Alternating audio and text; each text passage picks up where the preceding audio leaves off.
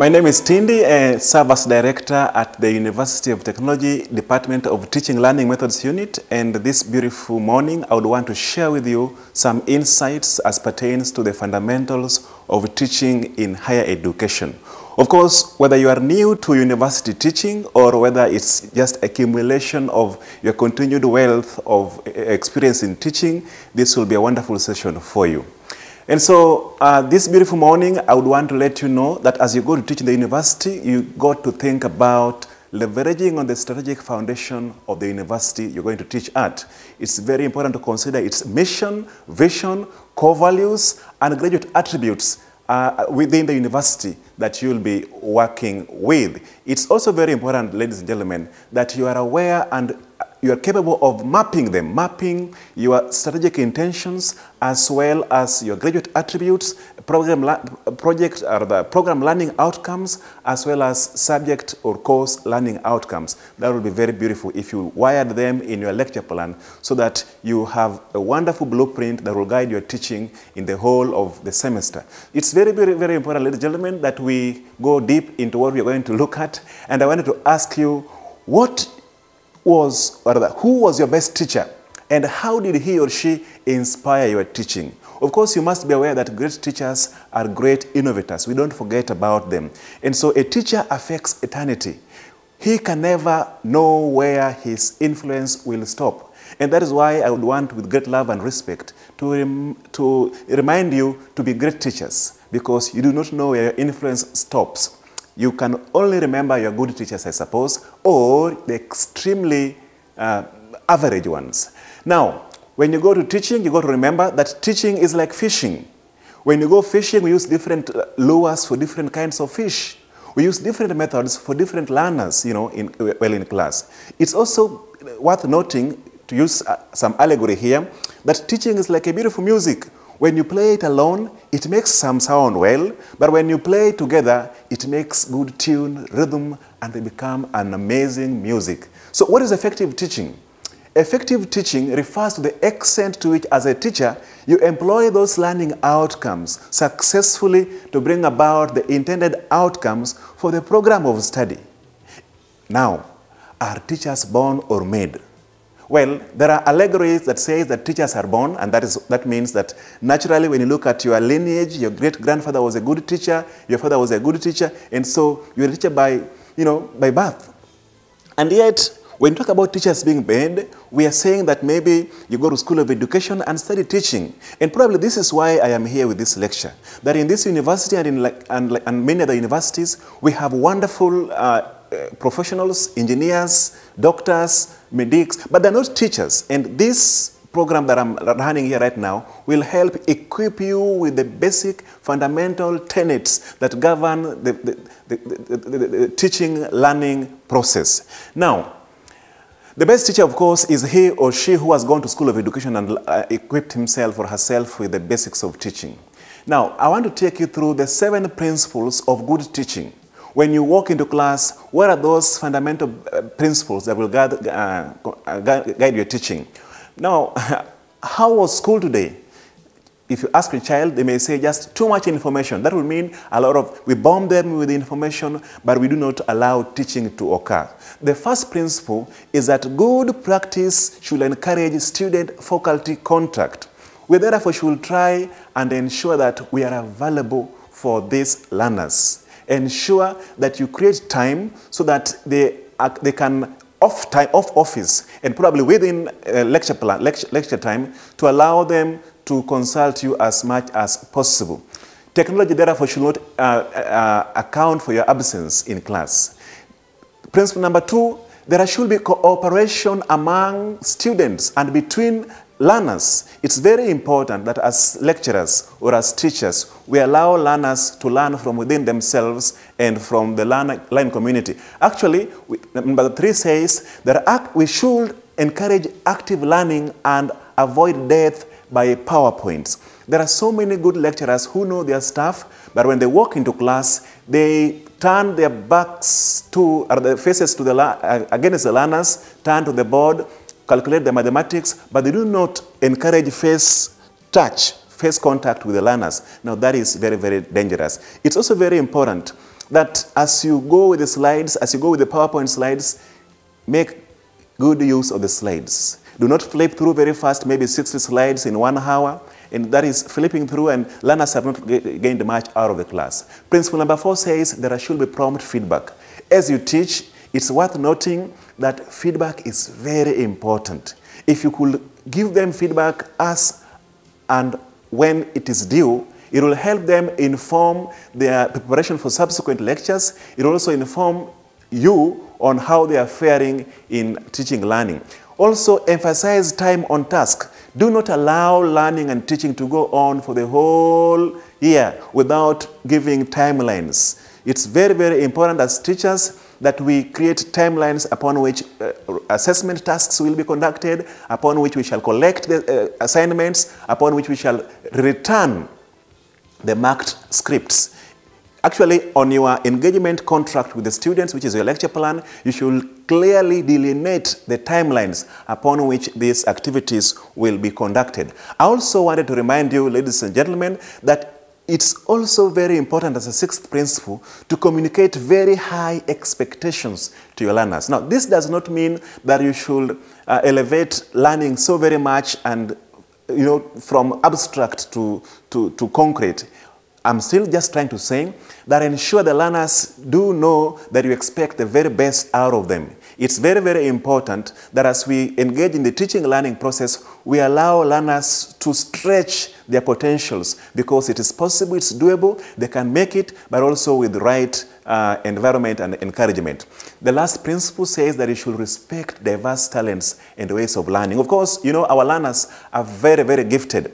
And we want to believe that there are variations. We got average students and we may also have exceptional students, those gifted students. So I wanted to encourage you, my fine colleagues, that as you go to class, you ensure you appreciate diversity in, in ways of learning. There are those visual learners who learn by seeing. There are audio learners who learn by hearing. There are audio visual learners who learn by seeing and hearing, etc., etc., etc. But let's take good care of them.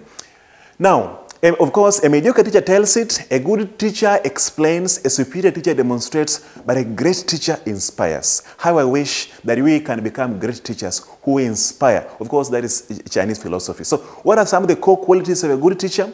Well, a good teacher must have superb knowledge of the subject matter he or she is dispensing. It will be really fulfilling if you are in command, in great control of what you are uh, you know, teaching. Know your staff, know whom you're staffing, know when, you are, when they are staffed, and eventually get into your subject. Get the subject into you. Get the subject into the hearts of the learners. Knowledge of your subject is very important, of course. You can't give what you don't have. So I want to encourage you to be so very much calibrated about knowing your content. Number two, communication. Now, it's very, very important that you also are able to give to the learners what you know, what you have. Now, even if you know it so much like a God and you can't give it to the learners, then you do not know it at all. So it's very, very important that you are able to remember that learners learn much more about, learners learn how. The how helps them understand what you are saying. So what the teacher is, is more important at times than even what he or she teaches. So be energetic. Be able to communicate your learner, uh, uh communicate your content to the learners. A good teacher has the ability to communicate their knowledge and expertise to these learners. The third principle will be uh, interest. It's very, very important that you show enthusiasm, that contagious enthusiasm around the content of your uh, dispensation. It will be very healthy for a teacher to ensure that his class is interesting or her class is interesting. Support what you say with examples, statistics, definitions, and testimonies. It is the supreme art of a teacher to awaken creative, creative joy in the expression of knowledge with the learners. So do not go to class and look like you are dead, waiting, burial. Look interested, look enthusiastic, be contagious about, you know, learning. The third the fourth one will be respect. Now, th this is two-way traffic. Respect is earned. Respect is never given. A good teacher must have a deep-seated concern and respect for the students he or she is teaching. Common sense will tell you what to ignore, but ensure that you assess the situation quickly, make appropriate decision, know what to ignore, and of course, be proactive. Remember, if you don't respect the learners, man, the learners will not respect you, and yet we want them to, you know, respect us. So what does the literature say about good teachers? Like I've said, this is just a summary. Knowledge about your subject is supreme. Adopt and organize your systematic approach to your teaching. Be very, very enthusiastic and interesting. Respect the students and have very high expectations of, of you know, of their performance. Now, uh, this takes me now to the practice of teaching. Now that we've set the baselines, you go to class to teach, what should you do first? Set induction. This is about creating the right atmosphere upon which learning can take place. Ensure you create the right environment, the right atmosphere. Don't walk into class and, uh, you know, uh, ridicule a learner or go into class and bash a learner. This will this will, this will create a very toxic environment that discourages learning. So set induction, probably then introduce the topic. Introduce, introduction of the topic can be done in so many ways. Maybe you can give an allegory, allegory or an anecdote that relates to the topic that you're going to talk about this day. Maybe you can uh, show a movie, a short clip about a topic that you're going to talk about. Could be you can ask them questions on their previous knowledge uh, situation on the topic of, uh, of the day. Then go ahead and talk about the topic. Now, then the, the, third step will be topic mastication. This is where you go and demystify the topic, break down the topic, and explain, uh, you know, what you're about to cover on this day. This is what we call topic mastication. You are chewing the topic. The fourth uh, aspect will be reinforcing or stimulating the topic. Now, this is where you go around and get exemplifications. You give models, you give illustrations to cement or, uh, you know, add, add, add strength or strengthen what you are talking about. Then ultimately, do not go get, get out of class without summarizing. Now, this because hard data seem to suggest that students are always with us at the beginning and or at the end of the lecture. So those who come back from mental exile towards the end of the lecture will be privileged to benefit from your summary. So please do not finish your class without summarizing.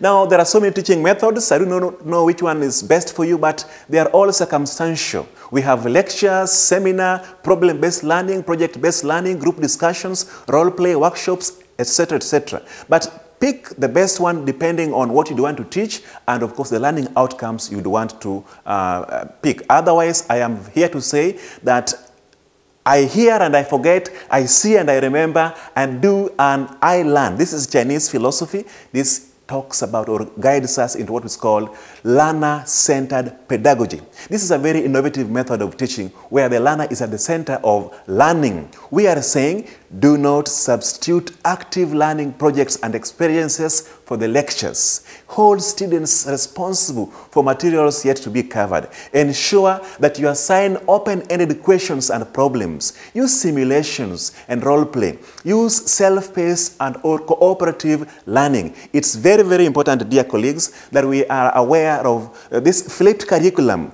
or tilted pedagogy so that we can allow learner to be at the center of learning. We are all co-creators of knowledge. Let's not go into class and think about the sage on stage as opposed to, you know, the, the novice at the periphery or at, at, at the fringe. And that, this is very, very important.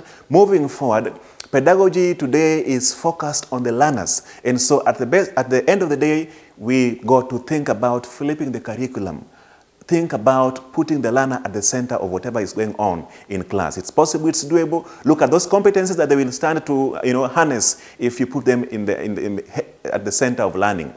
Think about the competencies. Think about the learning objectives. Think about the learning activities at the base of the pyramid so that as you move towards the zenith, you really realize the program, uh, project outcomes and the program outcomes. Now, it's how long should a faculty spend in class? This is subject to adoption. However, I will strongly still encourage uh, from literature that uh, lit, uh, faculty should spend about 60% in class lecturing. And then you can spend 10% on student independent work, that the students working in isolation, in, in silos. Then you can have 15% students working in groups so that they will have cooperative learning benefits. And then 15% can be uh, done uh, used on others. This is on lecture time. Of course, when you're doing tutorials, that will be a different story because then they will take uh, much, much of the time. Maybe flip it to 60. Uh, I, I, want to encourage you, colleagues, that it's very, very important that we continue thinking about tips for good teaching.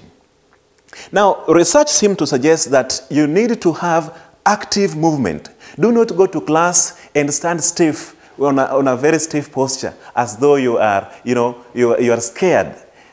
Active movement is very important for you as a lecturer in class. It's very, very important that when you go to class, you move, make good use of the you know, class. Again, when you move, move into the rows, move through the columns, and ensure you go to the back row and on the front and let the learners feel on board. On board the learners through movement. Again, good eye contact. It's very, very important that you keep your eyes focused on the learners. Do not, and I repeat, do not give the learners your back because then they move easily into, they gravitate easily into mental exile. So keep good eye contact. It also helps them build confidence and self-esteem.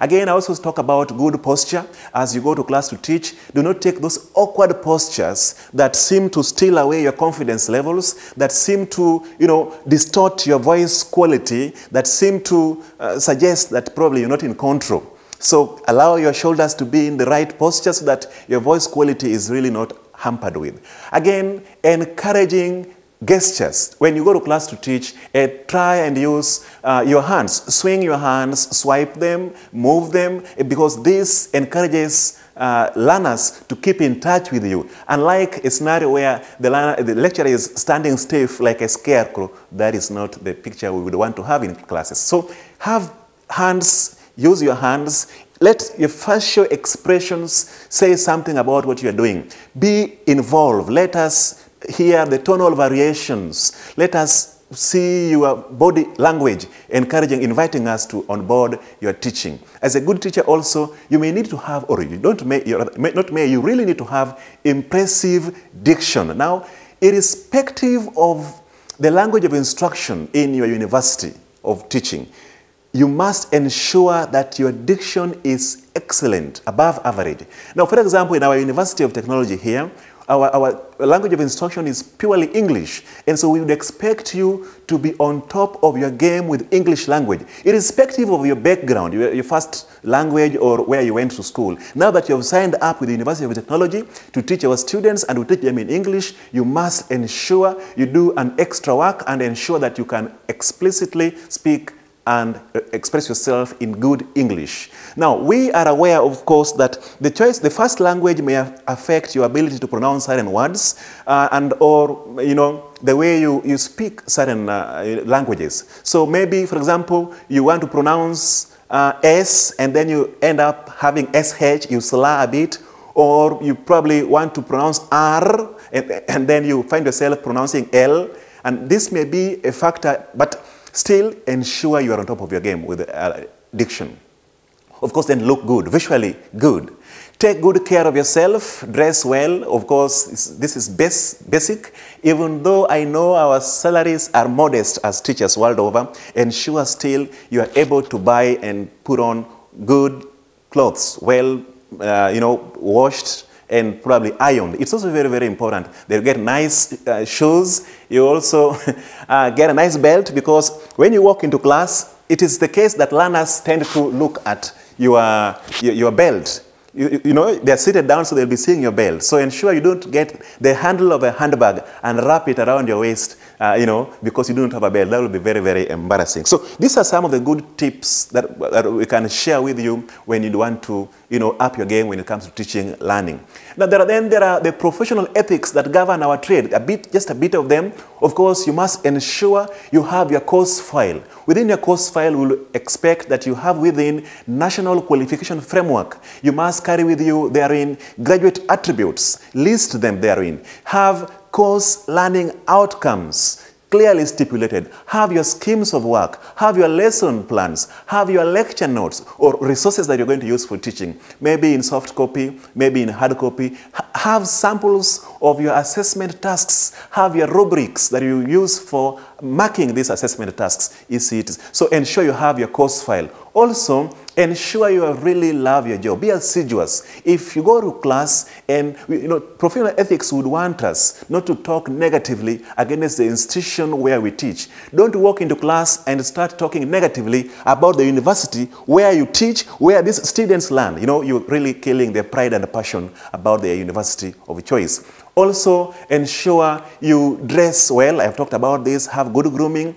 Professors would want to wear beards. I know some of you would want to wear beards, but still keep them well trimmed so that as you speak, we don't see accumulate, accumulation of saliva around your, your mouth. It becomes, you know, awkward and makes learning teaching process uh, a bit awkward. Also ensure you be open-minded. You're going to teach learners who have had interaction with the technology. Some of them have, uh, have really read a lot ahead, uh, you know, on the topic of your interest. But so be open-minded. You know, we are hardwired to continuous learning. And I expect you as a, good lecturer to be open-minded. I do not think you are the alpha and omega of knowledge. I said the greatest learner in the teaching learning process is the teacher. Because to teach is to learn twice. Please allow the learners to challenge you. Of course, positive criticism is very, very healthy and, you know, constructive. Again, punctuality. Today, we have learners, uh, lecturers who are, I call them helicopter consultant lecturers, always on, you know, consulting for all the agencies in town.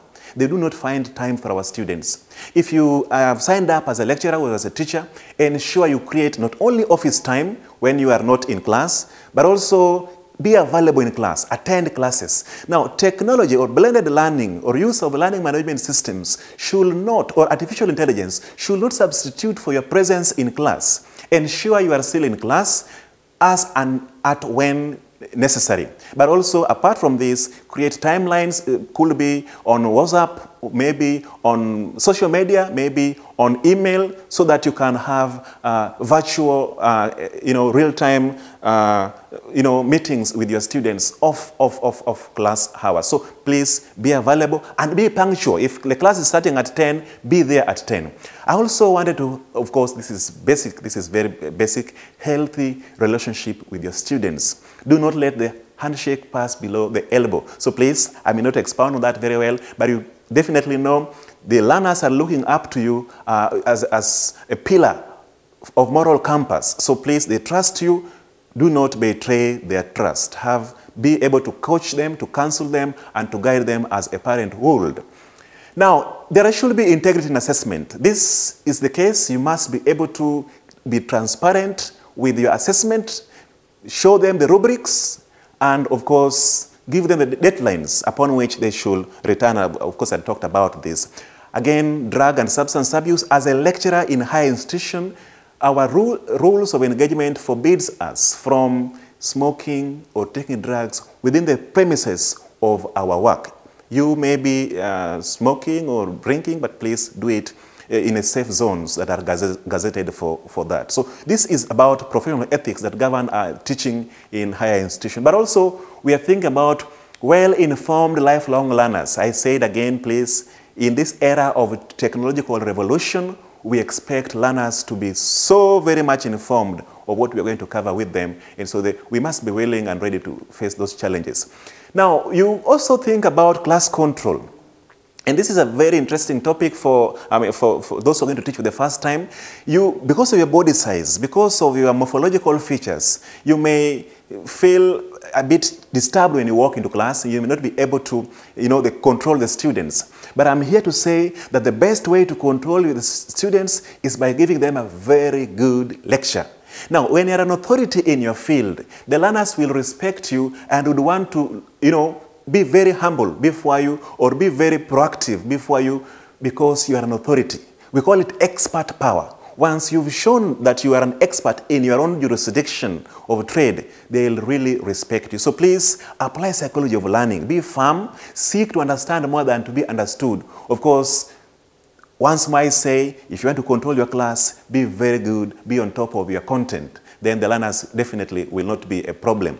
I also uh, must encourage teachers that today as we teach, we must think about the 21st century skills. This is the learning skills. Ensure you give them critical thinking skills, collaboration skills, communication skills, and creativity skills. They are not going to work in a global village. And we are thinking about wiring learners who are capable of working anywhere across the globe with people of diverse background. So you must ensure you teach them how to collaborate and how to be global citizens. Of course, literacy skills is, cannot be underrated at this time.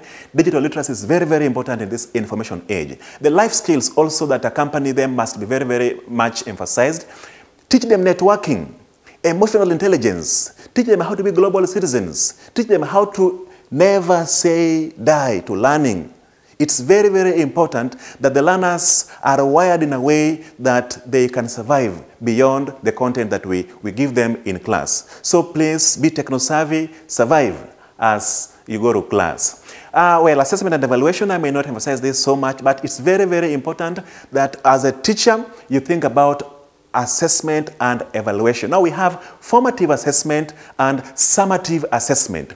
When you think about formative assessment, these are the assessment for learning. You do assessment as learning goes on. But when you talk about a, form, a summative assessment, this is an assessment of learning. It happens when learning has taken place. Now, as, as lecturers, we are constantly involved in evaluation. But why must we do this? They help improve our, you know, improve in provide information, baseline for improvement. They help provide information to evaluate the course that we are teaching. Of course, it offers feedback to faculty. But also, we must encourage learners to participate, particularly here in Unitech, in the student online evaluation of teaching because we use those feedbacks when, when, when, when providing uh, analysis for upskilling, when we are be benchmarking, uh, preparing content for our in-house capacity building initiatives, we use feedback from the students. But we also use students. So, dear lecturers, do not be afraid of students evaluating your teaching. Because when they do so, we also use those feedback you know, when making promotion and tenure decisions, whether contract renewal, whether a prom uh, promotion, whether recommending you for further studies, you know, abroad, and, and stuff like that. but when you're doing assessment evaluation, please consider the breadth and the depth of the assessment. I also, in, in conclusion, would want to say that there are these concepts there's an allegory that says that I taught Stripe how to whistle. This Stripe is a dog. So I taught Stripe how to whistle. But then this my boy says, ah, I didn't hear him whistling though. You know, he goes to the dog and says, dog, please whistle. I didn't hear the dog whistle. Then I say, I taught him. I didn't say he learned it. Now, it's very, very important for you to note that we are here not to teach them, but to ensure that they learn. And this is the bottom line. This is what defines you and me as academics. And if you can't define, if you can't ensure they learn, then you have really uh, done injustice to these students. Learning never ends. Anyone who stops learning is old, whether at 20 or at 80, anyone who keeps learning stays young. Effective teachers try and try and try and let students know that they try. Why? Because to teach is to learn twice. Uh, as I conclude, I want to uh, give you a summary, a recap of what we have covered. We have said that if you want to be an excellent teacher on top of your game, then you got to have knowledge of what you're teaching. Then number two, you must be able to transmit that knowledge to the learners. And again, number three, you must have interest, outstanding interest in what you're teaching. And finally, you must have a deep-seated respect for the students. I am saying that the greatest room in the world is the room for improvement. I hope I've been of service to you. Thank you so very much. I hope to uh, see you again in a subsequent session. Thank you.